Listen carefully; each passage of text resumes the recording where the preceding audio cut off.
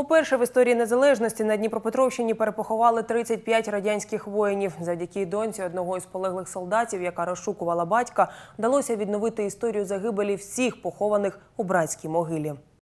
Це був далекий 42-й. Маленькій Людмилі тільки но виповнився рік, коли її батько пішов на війну. Ніхто з родини й не думав, що бачить його востаннє. Єдина звістка з фронту пропав безвісти. На початку цього року Людмила Олександрівна звернулась до спеціалістів з проханням допомогти розшукати могилу батька. Я им все рассказала, показала фотографию.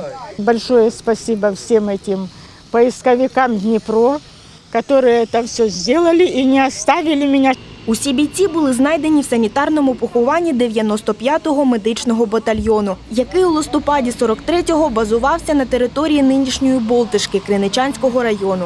У 2005 році поховання частково зруйнували у результаті господарських робіт, а останки перенесли до братської могили. Во время раскопок нашли останки, как мы поняли, захороненных солдат.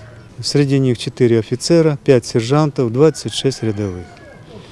А, 11 человек из Днепропетровской области. Это призванные ребята, которые после освобождения сразу были призваны полевыми военкоматами и брошены сюда на, на освобождение Кринчанского района. А за залишками обмундирування, зброї, слідами поранень, пошуковцям вдалося з'ясувати, що останки, знайдені на території кар'єра, належали 35 воїнам Червоної армії, які померли від ран у польовому шпиталі. Это так была шутка смотреть. Ребята были похоронены вообще в одежде, ботинках. Вот видно остатки, останки шинели. Ну, все это загнило, конечно, все. И это все выкапывалось вручную. Розкопки принесли приємну звістку і у родину Мірошниченко.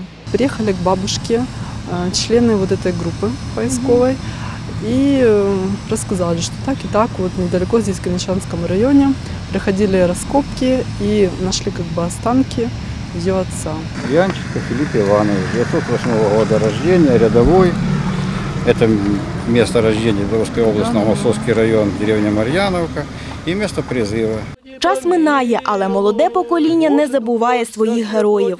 Це дата подія дуже важлива для учнів, для тих людей, які віднайшли своїх родичів, хоч уже і померлими, але вони будуть відчувати гордість за те, що вони поклали своє життя Події війни ще довго житимуть у пам'яті поколінь, бо це історія, про яку забувати не можна.